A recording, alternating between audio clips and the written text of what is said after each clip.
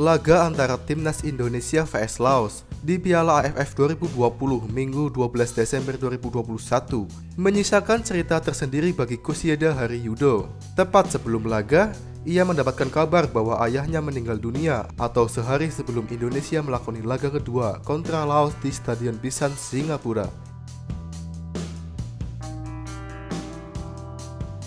Kusieda Hari Yudo tampil sebagai starter saat Indonesia mengalahkan Laos 5-1 dalam pertandingan lanjutan grup B Piala AFF 2020 pada Minggu 12 Desember 2021 sore WIB.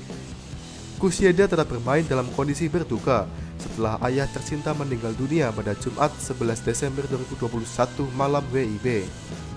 Saya atas nama pribadi dan keluarga besar PSSI ikut berduka cita atas meninggalnya ayahanda Kusieda Hari Yudo apresiasi besar dan salut atas pengorbanan Yudo yang masih bersama timnas Indonesia untuk berjuang di Piala AFF 2021 di Singapura, kata Iriawan dikutip dari laman resmi PSSI.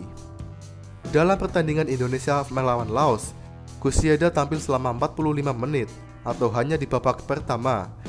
Usai jeda, Kusieda digantikan Witan Sulaiman.